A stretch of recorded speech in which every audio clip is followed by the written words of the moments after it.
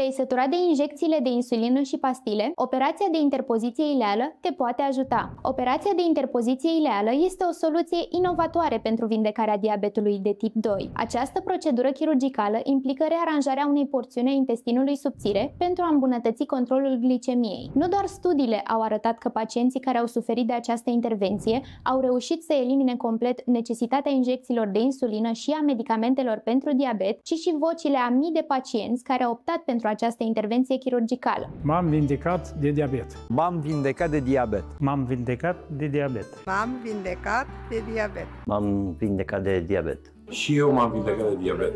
M-am vindecat de diabet. Prin modificarea intestinului subțire, operația stimulează producția de hormoni care reglează nivelul zahărului din sânge. Dacă te-ai săturat de tratamentele zilnice pentru diabet, interpoziția ileală poate fi o opțiune eficientă pentru tine. Te așteptăm la noi în clinică pentru o consultație cu unul dintre specialiștii noștri.